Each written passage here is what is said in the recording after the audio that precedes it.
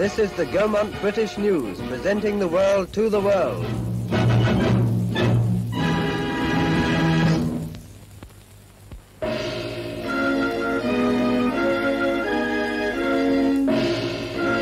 In October 1930, Rastafari became Emperor of Abyssinia, and His Royal Highness the Duke of Gloucester went to Addis Ababa for the coronation.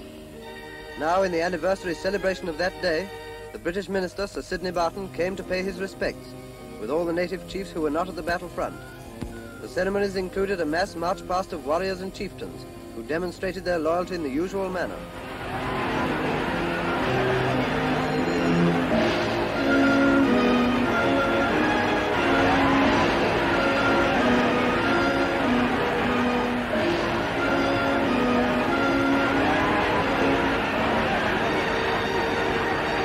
High spot of the proceedings was the drive from the palace to the church in Menelik Square for a service which lasted five hours. The procession will be seen to bear some resemblance to our own Lord Mayor's show, but not much.